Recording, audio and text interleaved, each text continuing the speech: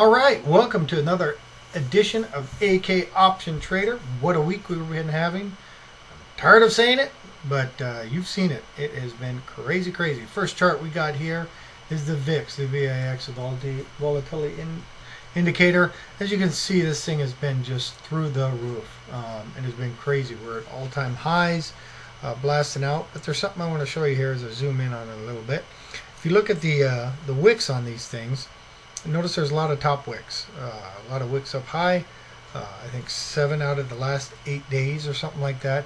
Every time it's tried to blast out of there up, up at an all-time high, it pulls right back down uh, beneath the Bollinger Band, the top Bollinger Band. So that being said, that uh, what does that tell you? Well, it tells you that every time we try to push the all-time highs and get a capitulation, not doing it, coming back in. So something to watch for when we have these huge blasts up. Especially if we're outside the Bollinger Band. You notice the big candles inside the Bollinger Bands seem to be doing all right and being able to hold that run. When we blow outside that top one though, uh, we just can't seem to main, maintain it. Uh, the indicators on there still showing up. So uh, something to watch and just something to think about. It's a tool I use uh, almost every day. Look at that uh, VIX intraday, over the week, over the month, over whatever. You're going to see a lot of things on it here. So, uh, all right, time to look at some of our indices and uh, see where we're at here. Give it a second to load up. All right, so we're going to start with the Dow. Looking at the Dow, Dow's uh, done something pretty significant this week. Dow has broke and closed beneath for the first time in I don't know how many times since that day there. First time the Dow has closed beneath this 8450 line and it's the first time that it's also closed beneath that uptrend line of this triangle.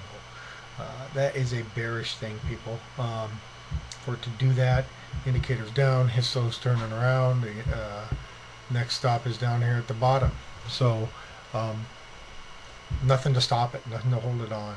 Uh, if it closes back and gets back above that support line, it could be a different signal. But right now, right now, we're looking at it's right beneath there, and we could be heading down a little bit lower uh, on this.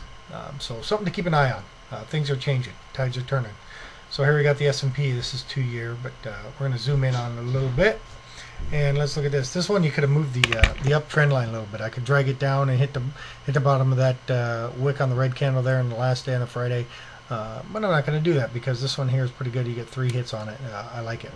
It's strong. You can see the trend line up here, the steep one over there that we had uh, going up. That one got broke. Now we're down beneath and into another set of triangle trend lines. And we're closed beneath significant support. Uh, quite a ways beneath significant support. Hit that trend line, closed on it right there. So we're in an, uh, an area where we could bounce a little bit. I don't think that's going to happen. I actually think we're going to close beneath that. Uh, indicators are down. Um, I'm thinking we're going to go keep going back down. Um, so something to watch for. That's looking bearish to me too. So anyway, there's back at the two year. You can see we're hitting the fibs, and we're we have the potentiality to get down to. As we got the Nasdaq right here, Nasdaq, my favorite. Uh, very, very, very bearish. Probably of all three indices, this is the most bearish to me. Um, it broke the zero percent line. It is down there, people. It smashed that uptrend line, smashed support, closed beneath it. Uh, there's nothing holding this bad boy right now. Nothing, nothing, nothing. So um, Still got a little bit of room above the bottom Bollinger Band there for it to slide down that slippery slope. Um, this could get ugly and this could get ugly real quick. So this is uh, this is something to watch for. Um, any cues, any Nasdaq stocks you're playing are going to be affected by this, uh, unless we have a significant rally on Monday. Uh, something weird happens over the weekend. You never know. You never know. Maybe they'll put ten trillion dollars equity in into it and really help us out. Wouldn't that be lovely?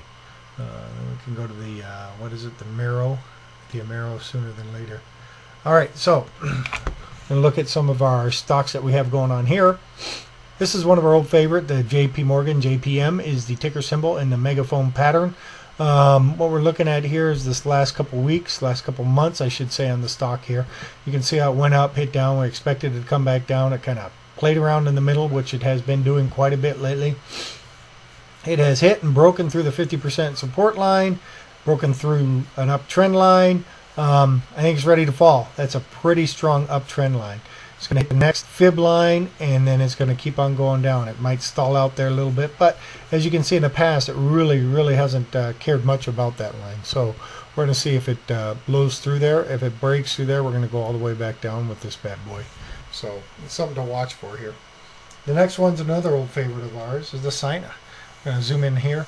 It's uh, hit that uh, uh, neckline of the head and shoulders, bounced back up, closed up above it, but it's still got a bearish tone to it. Um, I'm, I'm thinking it's going to break back down there and break that line again and drop way back down again. So it's going to be a definitely a playable, um, a playable one, and uh, one I'd like to see get in. If I was going to play it, I'd play December. Um, the November options are just too much. I think the spread's too much. It's like a double head and shoulders here. So um, I'd be looking for this thing to break down again and get down to that red support line right in there, right in that level somewhere. And uh, that's the way I'm going to be playing it. So another down play. Next one coming up is Cisco CSCO. This is one I used to play a lot. Um, this one, you know, I, I, like it because it's right on that bottom of the 0% retracement on the fib. Um, will it bounce or will it fall? This one falls the fibs beautifully too. So I'm thinking it might bounce actually. I know it's a NASDAQ. I know it'd be going against everything I just said, but it's just something to keep an eye on.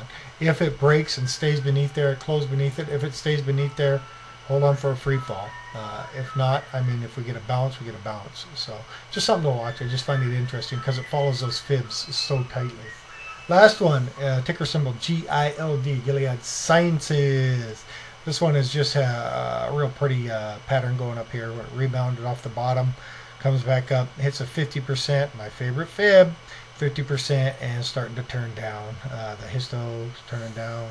Uh, the indicators are turning down. The stock RSI is up. It's turning down. I can see the sucker falling right back down there to the 28% uh, fib right there near the bottom. Um, pretty good move, and if it breaks that, we could go all the way back down to the bottom one there. So it's definitely playable. Anyway, so as you can see, I'm still short. Uh, keep your day trade short. Uh, I'm not staying in over the long term. Thank you very much. Um, and uh, I hope you have a great is